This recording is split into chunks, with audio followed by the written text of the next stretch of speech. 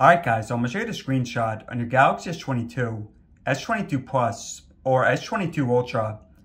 Now, there's a few ways to do it, and they've actually rearranged the buttons here. So, it's done a bit differently from most prior Galaxies. Now, I'll show you guys some advanced stuff in a second, like how to edit or take a long screenshot.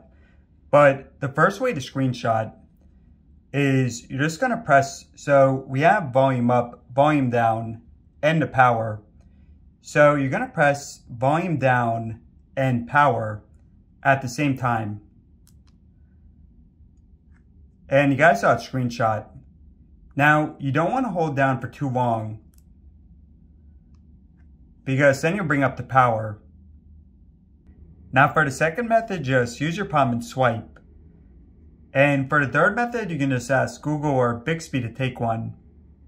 Alright, so now for some advanced stuff. Now, if you want to take a longer screenshot, so to stuff down here as well, then just take a screenshot and just keep pressing right here until it's as long as you want it. And you can just press it to uh, go into it. Alright. Now, if you want to crop or draw on the screenshot, then again, take the screenshot and press right here.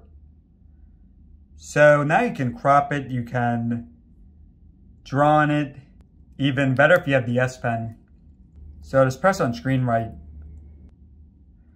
And when you're done, just press on save in the bottom right. So now going back into photos and right there. And hey guys, all there is to it. So hopefully this helped out.